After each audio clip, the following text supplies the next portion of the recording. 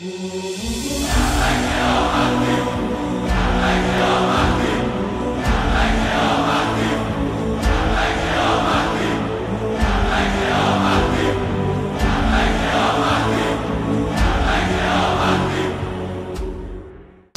الله الرحمن الرحیم.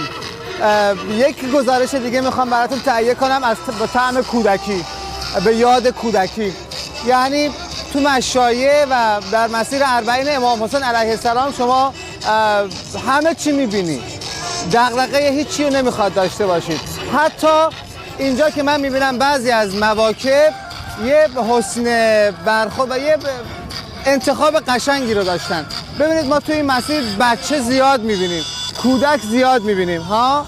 اینا با تیپ های مختلف با در سنین مختلف در زبان های مختلف میان. بعضی از مواکب من دیدم دست بچه ها زیادم دیدم ها. حتی فکر اسباب بازی بچه ها هم کردن که تو این مسیر بچه ها اسباب بازی دستشون باشه.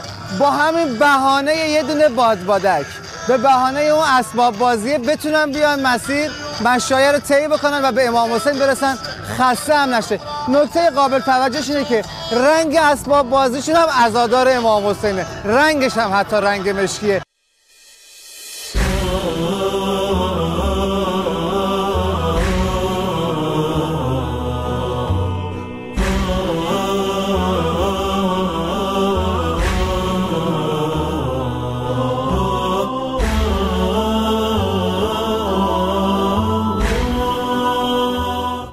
یعنی شما برای بچه هاتون و سرگرمی بچه هاتون به بهانه فرج به بهانه امام حسین به بهانه امام زمان به بهانه مشایع همون هم دیگه دغدغه ندارید همون هم دیگه مشکل ندارید. نشونش و نمونش همینجا. این دختر کوچولو به خاطر امام حسین به بهانه بادبادک به عشق امام حسین اومده تو مسیر داره مشایع رو طی می‌کنه با همین دمپایی ها با همین حس حال عاشقانه دمم نمی‌زنه.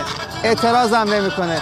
شاید پاهاش تا کربلا با رقیه امام حسین آبله هم ببنده ولی گریه نمی‌کنه. یا حسین.